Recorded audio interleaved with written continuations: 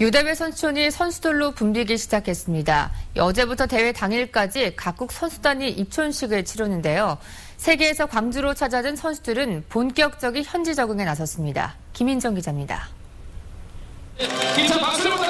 밝은 모습으로 행사장에 등장한 입촌식 첫 주인공은 카자흐스탄과 파라과이 선수단. 전 세계에 널리 알려진 케이팝에 맞춰 치어리더들이 분위기를 돋구고 비어있던 국기기 양대에 국기가 걸리자 선수들은 도착을 실감하며 건승을 다짐합니다. I also would like to thank Guangzhou, the, the city, for hosting this university and say hello from our students from Kazakhstan. And I wish all the athletes from all the teams uh, success in these games. 지금까지 입촌한 국가는 33개국 2천여 명. 입촌에 마친 선수들은 몸을 풀며 본격적인 현지 적응에 나섰습니다.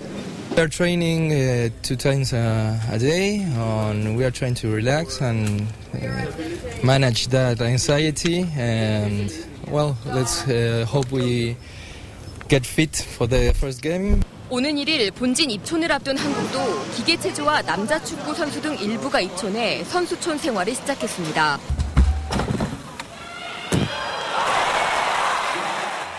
런던 올림픽 도마 부문 금메달리스트인 양학선 선수는 부상 부위를 다시 다친 것으로 확인돼 금메달 사냥에도 비상이 걸렸습니다.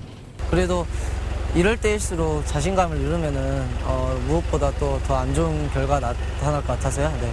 자신감 하나는 충만합니다.